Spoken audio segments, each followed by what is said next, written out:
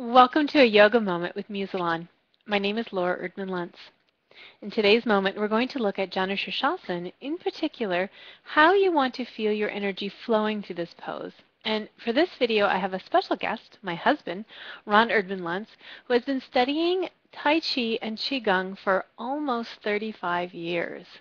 So I will turn it over to Ron.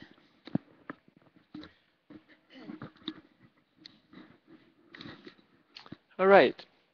Ground through your sit bones.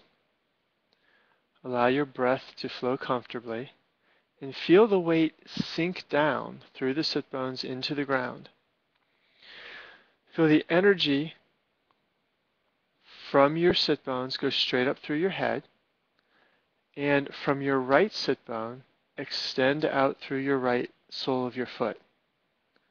As you fold forward, Comfortably place the palms flat on the ground, relaxing the hands into the ground. Feel the earth beneath your palms. Relaxing through the left sit bone and left leg. Allowing your breath to flow so the chi flows from your right sit bone up through the top of your head, from the right sit bone through the sole of your foot, Left side relaxed, connecting to the earth, as are the palms.